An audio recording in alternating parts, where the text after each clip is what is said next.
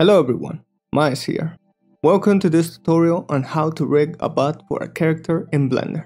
In this video we'll cover where to put the bones so the butt can deform nicely, how to automate the deform movement, as well as adding some control if we need to move the butt in a specific way. Now, why should we add extra bones to the butt?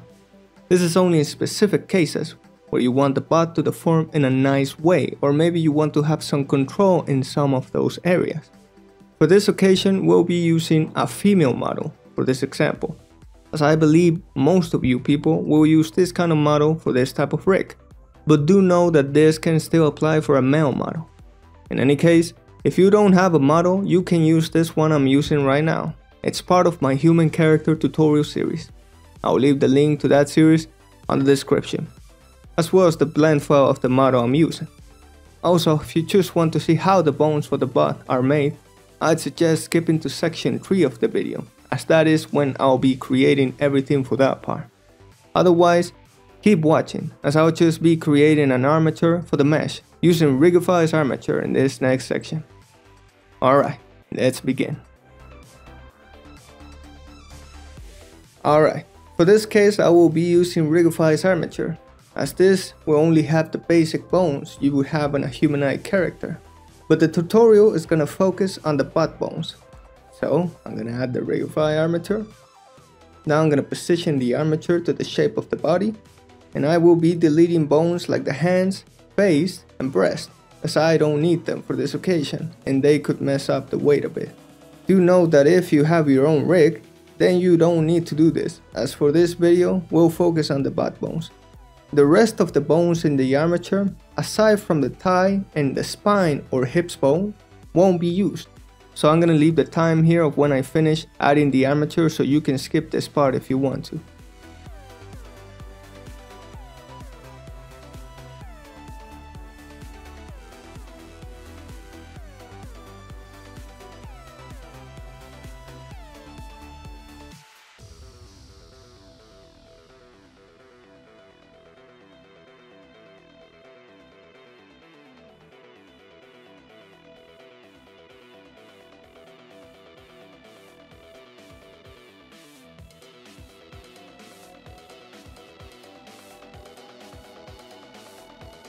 Okay, we finished adding the armature.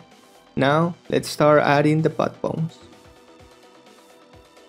Now before we start adding the necessary bones for the butt and making sure it's automated, I want to make sure you understand what we'll be doing here and how we'll be achieving an automatic deformation but also having a degree of control for the butt. First, to understand the amount of bones we'll have, the butt controls will be divided into 3 bones in total. First, the deformation bone, which we'll use specifically to assign the weight of the butt, so we can use this bone to deform it, as well as using it to follow the control bone, which we'll talk about it in a bit. Second, the mechanism bone, used mainly to act as a medium between the hip or spine bone and the thigh bone. This way we can control how much we want our deformation bone to move when the thigh bone also moves. With this bone, we'll automate how much we want our butt bone to follow the leg. And finally, the control bone. This one will be used to freely control the deformation bone while still having the constraint of the mechanism. So it will naturally rotate along with the leg even if we move it a bit. So those are the three bones we'll be creating here. They aren't much bones or controls, but the job that they'll be doing in giving your character a more refined butt, deformation and control will be noticeable. So first, let's take a look at the bones we are left in the butt area. As you can see, the only thing I have here is the thigh bone and the spine bone. The butt area is empty. So, the first thing I'll do is create a new bone, which will be used for the deformation bone. Position it like this, with the tip part of the bone touching this part of the butt. Something like this. Now I'm gonna parent this bone to the spine or hips bone Depends on how you have it named, but it's this bone right here. Now I'm gonna rename this bone to def.butt.l. The def is to symbolize that this will be a bone specifically used to deform the weights of the butt bar. And also, we're gonna mirror all the butt bones later. One last thing to make sure is that this bone's Z-axis is facing either down or up. So to see that, I'm gonna go to the Armature's Data tab, open up this viewport display, and enable axis. This will make it so you can see every bone's axis in the armature. On this video, I'm not gonna dive too much into the axis component of rigging, but do know that to make sure that our butt bone will deform and follow nicely, we must make sure that the Z-axis is looking up or down. Right now, the bone that we have created, the Z-axis is looking up, so the constraints that we're applying should work nice and well. But in the case that your bone's Z-axis is not facing up or down, then you can rotate it with Ctrl R Rotate it until the z-axis is up or down. Another way you can rotate it is that you can use the value here to change the rotation. Okay, now with that done, we're gonna create the mechanism bone. To do that, we'll duplicate the deformation butt bone. Change the transformation pivot point to individual origins. So we can scale it on its normal. And then scale it down a bit, just like this the mechanism bone will be smaller than the deformation bone. I'm gonna hide the deformation bone so it doesn't bother here. Now I'm gonna change the name of the bone to mch.butt.l and we're gonna parent this bone to the spine or hips. Finally, I'm gonna disable the deform for this bone since it's not gonna be used to deform the weights of the mesh. And there it is. Alright, next thing is to start adding the constraints to the mechanism and the formation bones. So let's start with the mechanism one first. I already explained that the mechanism is gonna act as a medium between the spine or hip bone and the thigh bone. Since it's already parented to the spine bone, all we need to do is to add a copy rotation constraint so that it copies the thigh bone's rotation. We're gonna be using a neat little trick here to speed up adding a constraint to our bone. So let's go to pose mode. Let's first select the thigh bone, then add to the selection the mechanism bone, and press Ctrl Shift C. This will open up a window where we can select different types of constraints to apply to our child bone. In this case, the parent bone is the thigh bone, since we selected it first, and the child bone is the mechanism one, because we selected it last. So, let's select the copy rotation one. As you can see in the copy rotation tab, the bone option is already taken by the thigh bone. This is a little trick you can do to save up some time when adding some constraints to your bones. We do need to change some options here so that it works properly. First, make sure that the mix option is on offset legacy. And finally, make sure that the target and owner options are on local space. Now comes a part that you may want to change depending on how much influence you want the thigh or leg to have over the butt's deformation. For example, having an influence of 1 means that the mechanism bone will follow completely the thigh bone, whereas having an influence of say 0.2, which is the one I use, it means that the butt bone will follow the thigh bone ever so slightly. It will give this small rotation to the bone, and honestly I think it looks way better over having a complete or higher influence. Now like I said, you can choose the influence you want. But personally, I'm gonna leave it at 0.2 for now. Alright, the mechanism bone is done.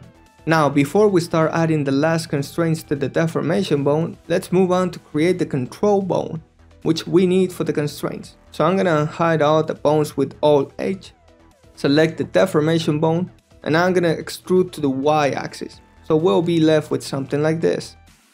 Now I'm gonna change the name of the bone to control.butt.l as well as change the parent.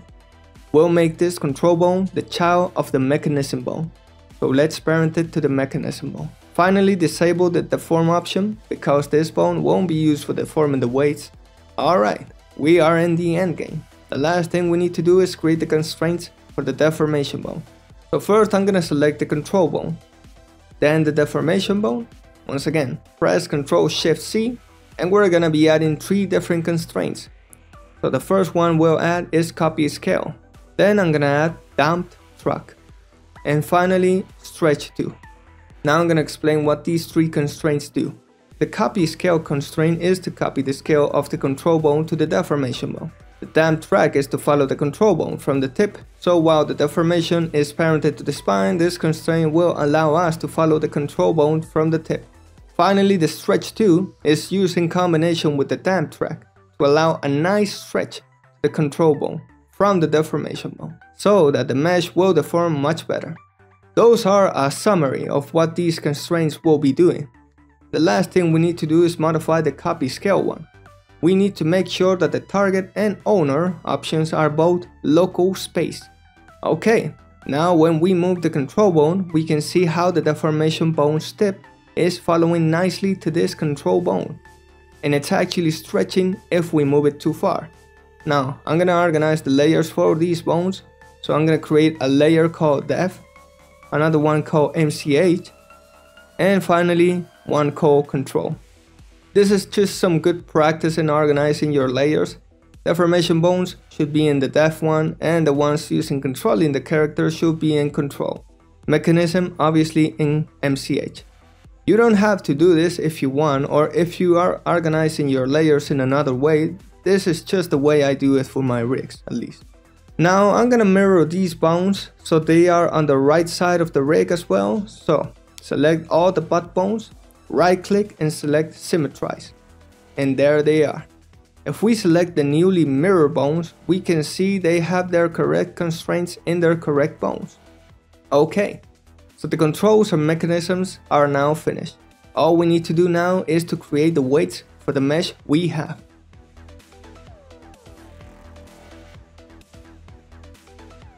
Since this is a basic human mesh, I'm gonna use the automatic weights option. And now I'm gonna be checking how the mesh is deforming.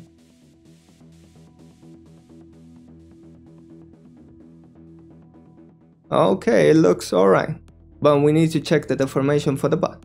As you can see, if we move the control bone, we can see how we're moving part of the butt. This is pretty great if we need to control this area and do some animation with it, However, if we move the thigh bone, you can also see how the butt is following nicely along. So, the rigging works. But now I'm gonna be modifying the weight so it has a better deformation. This part is gonna be a bit of a time lapse, but I'll comment on important tools I use when weighting a bone. So I'm gonna select the rig first in object mode, then select the mesh, in this case the character. Change to weight paint, and now we have the bones along with the mesh selected in weight paint mode. So I'm gonna select the deformation butt bone. And to do that, you just need to click on it while holding Alt. And this way you're gonna select that bone. And as you can see, there's this amount of weight affecting this area. If we look at the spine or thighs bones, there's also a good amount of weight affecting it. So before the time lapse starts, I'm gonna be telling you which areas I'll be modifying. The most important ones are obviously gonna be the deformation butt bone, but also the spine and thigh bone. I'm also gonna be using symmetry here, so I just have to weight paint the left area only. And finally, the tools that I'm gonna be using are the draw option, but also the blur option. I find that this last one is quite useful when you just want to space out the weights and don't want them to end so abruptly. So, this will be a time lapse if you want to skip to how the bot deforms with the new weights, then go ahead on to the next section.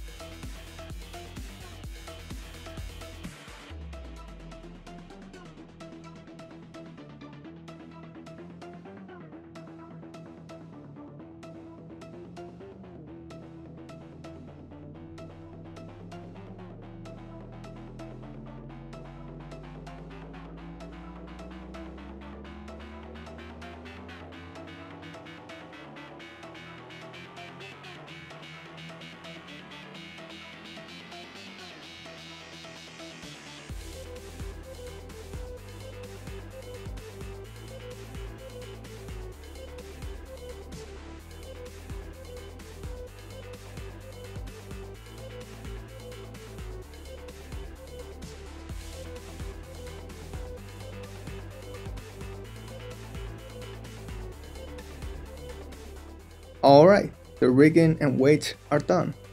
I do want to add a minor thing before we see the final result, and that is to add some bone visuals, also called widgets. These are optional, but sometimes very necessary to make sure your rig can be understood by an animator, as they are made to represent what a bone is supposed to do in the animation. Here's some examples of what I'm talking about. Notice how there isn't any of the normal visuals for the bones. Instead, it's all custom made. Now, for this case, the only visual we'll need is for the control bone, since that's the only one which will be visible here. So to do this first, I'm gonna go to object mode, create a circle, and with this circle I'm gonna modify so that it resembles a wireframe sphere. So in edit mode, I'm gonna duplicate the circle, rotate it like this, duplicate it again, and rotate it again. And just like this, we have our widget for the control butt bone. Make sure to rename this to WGT butt control, something like this, so that we know this is a widget for the butt controller. Now I'm gonna go to the armature for the character, into pose mode, and select the bone to add the custom graphic. In this case, the control butt bone. Now let's go to the bone tab and open up viewport display. And in here, add it to the custom object option, the widget that we have created. And there it is. We can see that it's appearing on the bone. It looks a little bit big, so to fix that, I'm gonna modify the scale of the object on the widget itself. So I'm gonna go to object mode, select the circle or the widget, go into edit mode, and I'm gonna scale it down a bit. And that's better. Now I'm gonna put this graphic on the other bone for the other side. And there it is. Okay, we have a custom graphic for our butt bone. So we have arrived at the final result. I have modified the weights to be as good as they can be. Now if we move the leg, you can see that it's deforming quite nicely. And if we leave it here and start moving the butt controller, you can see that it nicely deforms the shape of the butt. This is just a nice way to add automation to your butt when moving the leg but also having a degree of control for moving the butt in a specific way. You can obviously make this more complex like adding more controllers so you can move individual parts of the butt, but for this case it's quite simple and useful at the same time. So that's it for this video. I hope you enjoyed it, learn how to rig a butt in Blender and also understand the process behind it. With all that said, I hope to see you on the next video. Bye bye.